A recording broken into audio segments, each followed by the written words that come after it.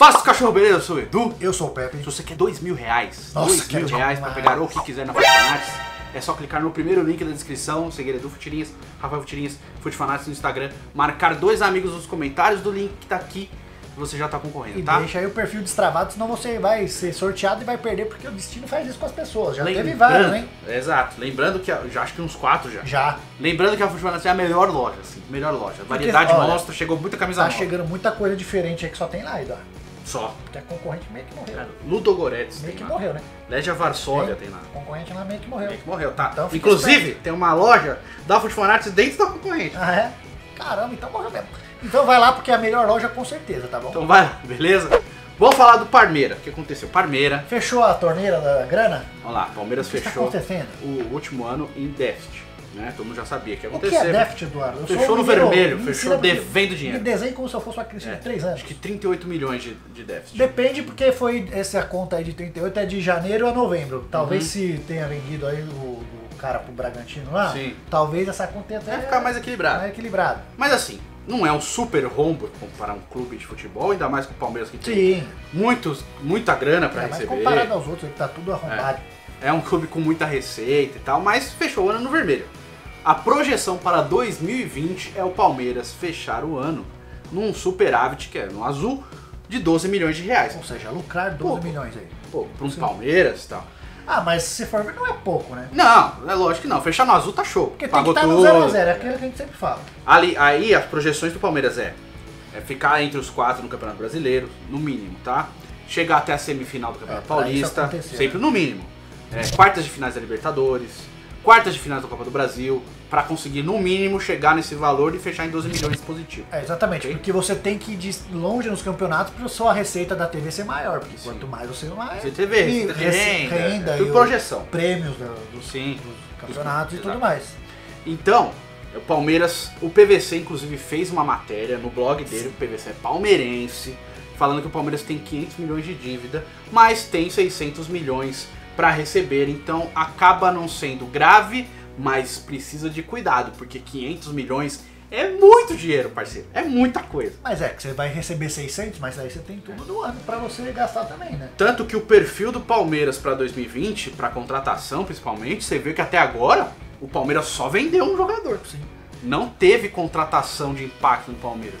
A ordem agora é usar o que tem no elenco e valorizar os jogadores de base, coisa que o Palmeiras não, Não faz estava muito tempo. acontecendo faz tempo. É. né? Foi, o último foi o Gabriel Jesus O mesmo, Gagliotti, agora o Verão. Cabeça de pica falou que esse ano aí, meu irmão, é isso aí. Vai usar a base e vai contratar pouco.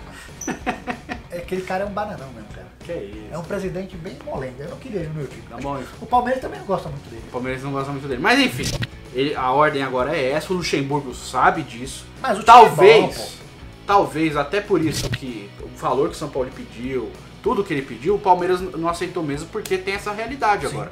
Não dá pra sair gastando desenfreadamente como tava gastando nos últimos anos. O, o Carlos Eduardo é usado como exemplo porque, cara, foi quase 30 milhões de reais num jogador que chegou pro Palmeiras e não fez nada. Não entregou Foi nada. muito mal. Só entregou. É, e era um jogador que não tinha nenhum impacto de nome antes. Só se ficaram o Carlos Eduardo Não fazia Goiás. sentido você ir atrás dele. Não se destacou em nada pra você falar, ah, paga é. quase 30 conto nesse cara. É, o Carlos Eduardo Goiás no Pirâmides do Egito. Então, tipo, o que, que esse cara fez, entendeu? Tipo, qual. Não é porque ele é mal ou ruim, mas ele não vale esse valor que o Palmeiras E o pagou. Palmeiras vai ter que trocar essa política de todo jogador que aparecia, eles iam atrás pros outros clubes não contratar. Então, Não, não isso aí atrás, contratava, né? Exatamente, acabou isso aí. E esse ano parece que, ó, fechou a torneira de A vez, torneira fechou, o Palmeiras precisa se readequar. Por quê? O Palmeiras também perdeu muita coisa. né? É, Na imagem do clube ficou meio arranhada pela postura, do, não dos palmeirenses, tá? Mas do próprio clube, assim, de, de se julgar superior por causa da situação financeira. Teve muito disso. O, a- o verde a cor da inveja também foi mais um- uma gota nesse balde aí de coisas. E o Palmeiras começou a ter a imagem arranhada. Teve muita saída de sócio. Muito. O Palmeiras chegou a quase 140 mil sócios Sim. e agora tá perto dos 50. Perdeu muito sócio o Palmeiras. E era uma das bases do negócio, entendeu? Tanto que no final da última temporada, o estádio tava até vazio nas últimas rodadas. O povo parou de ir.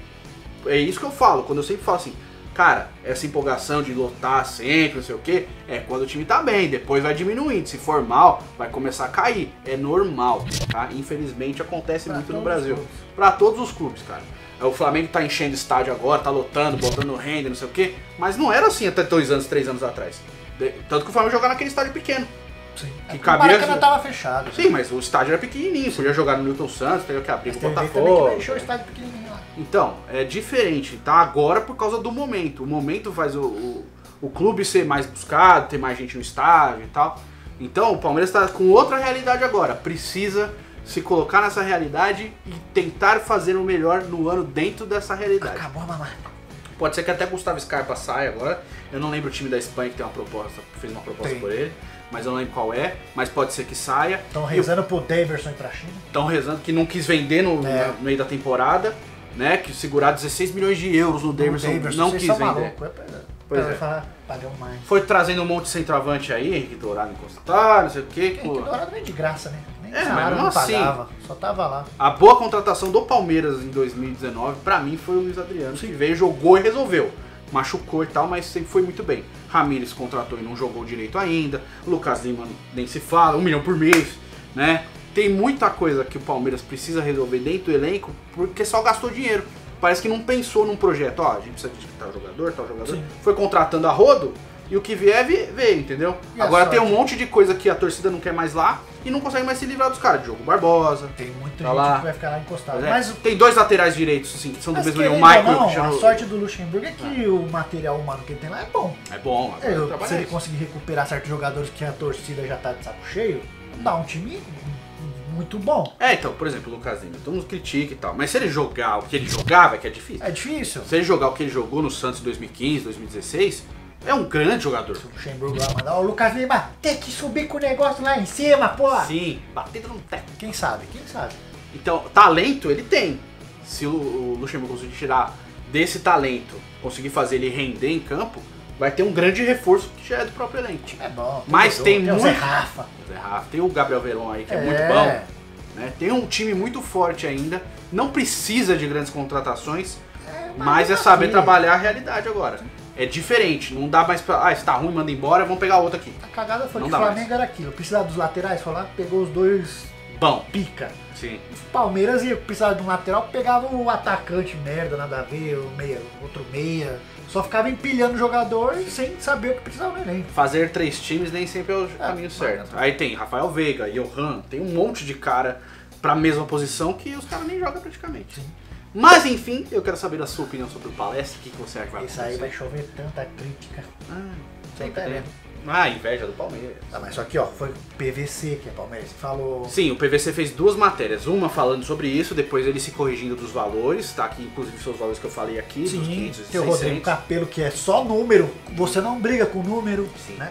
Rodrigo Capello no Globo Esporte Sim. também você pode acessar lá. A gente fez vídeo aqui cri- criticando ele quando ele falou que certos times não Sim. eram mais grandes.